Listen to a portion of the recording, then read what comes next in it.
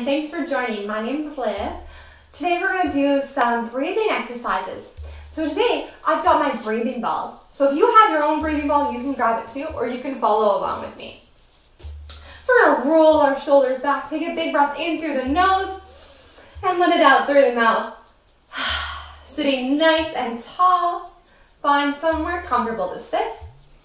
We're going to take a big slow breath in as we expand the ball slow breath out. So the breathing ball is kind of like our lungs.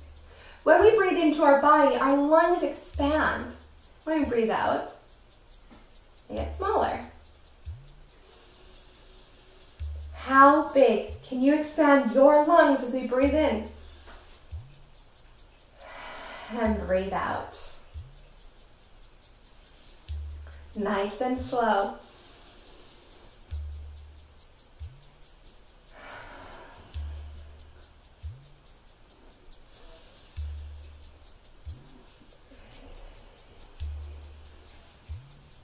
Now, what do you think would happen if we tried to go really fast? Let's try this.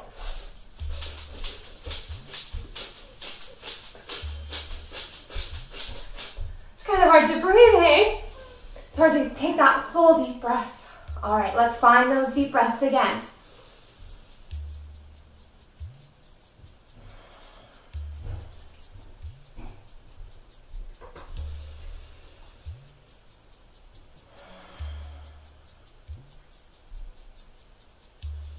Important for us to breathe fully in so we can fully expand the lungs.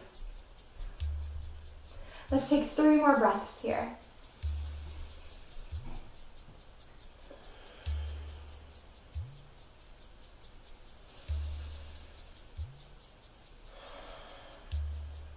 Last one. And set the ball down. Now, if you have your own ball, you can take turns with being the leader of the breath. If not, just keep practicing those deep, slow breaths. Let's take another big breath in, filling up the whole body. Reach those arms up, and then let it out through the mouth. Shake everything out. Let it all go. Thank you so much for joining. Namaste.